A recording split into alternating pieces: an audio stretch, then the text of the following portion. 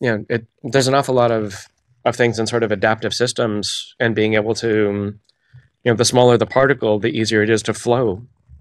Um, and so having fluidity in systems, people, when things become too rigid, um, you know, the small adaptive pieces start flowing around it, not flowing through it.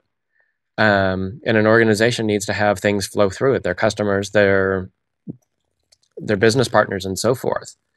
And having that flow through you know having that flow through you creates the value.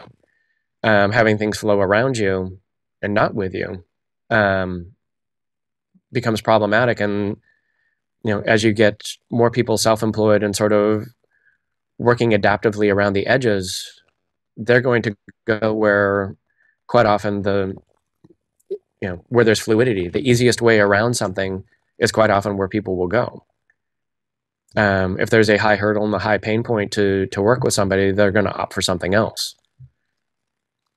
If there's that option.